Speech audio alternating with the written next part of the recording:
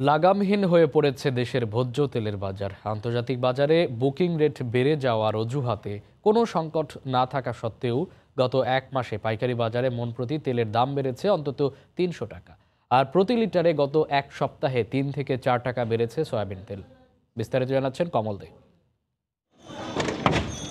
গত ডিসেম্বর থেকে দেশে ভোজ্য তেলের দাম বাড়ার যে যাত্রা শুরু হয়, তা নতুন বছরের শুরুতেও অব্যাহত রয়েছে। দাম বাড়ার গতিও বেড়েছে, আগের চেয়ে বেশি।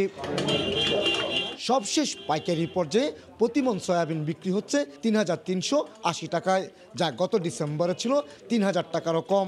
সয়াবিনের মতো পাম অয়েল ও সুপার সয়াবিন এক মাসে দাম বেড়েছে তিনশো থেকে সাড়ে তিনশো টাকা।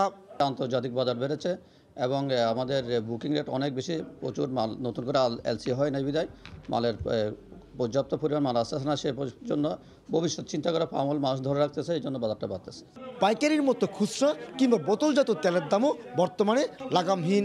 চট্টগ্রামের খাতুনগঞ্জে গত এক মাসে বোতলজাত তেলের দাম প্রতি লিটারে বেড়েছে দশ টাকা। গত মাসের দিনে এ মাসে সোয়াবিন সোয়াবিন সুপার এই ফার্ম এই প্রতি লিটারে দশ টাকা করে বেড়েছে।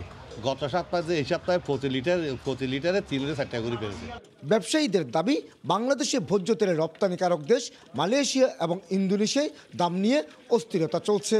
তার রেশ এসে পড়ছে বাংলাদেশের বাজারে। ইন্দোনেশিয়ায় তাদের ওরা যে জ্বালানি ব্যবহার করে ওই জ্বালানিতে পাম অয়েলের ব্যবহার বাধ্যতামূলক করায় জিনিসটার বাজারে প্রভাব বেশি পড়েছে। বাংলাদেশে বছরে বাইশ থেকে পঁচিশ লাখ মেট্রিক টন ভোজ্য তেলের চাহিদা রয়েছে। বাংলাদেশে ভোজ্য তেলের বাজার পুরোপুরি আমদানি নির্ভর। বিদেশ থেকে কাঁচামাল আমদানির পর রিফাইন শেষে সে ভোজ্য তেল বাজারজাত করা হয়। বর্তমানে বাজারে যেসব ভোজ্য তেল রয়েছে তা অন্তত তিন মাস আগে আমদানি করা। কিন্তু আন্তর্জাতিক বাজারে বুকিং রেট বেড়ে যাওয়ার অজুহাতে সেই তেলের দামও বাড়িয়ে দেওয়া হয়েছে। চট্টগ্রামের খাতুনগঞ্জ থেকে কমল দে সময় সঙ্গে